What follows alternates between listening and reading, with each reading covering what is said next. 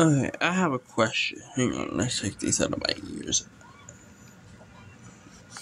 Okay, I have a question. Would Tom Cruise make the perfect Hal Jordan Green Lantern?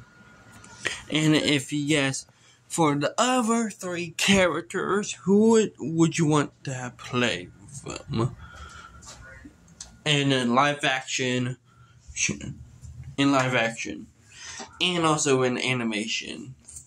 So, for live action, would Tom Cruise make a good Hal Jordan, Green Lantern? And who would you want to play Hal Jordan in animation? Actually, no, we're just going to do live action.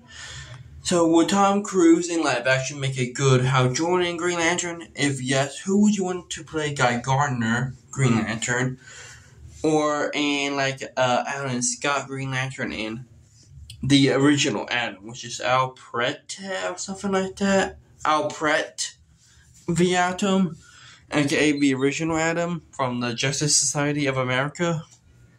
Who would you want to play the live action version for him? Bye.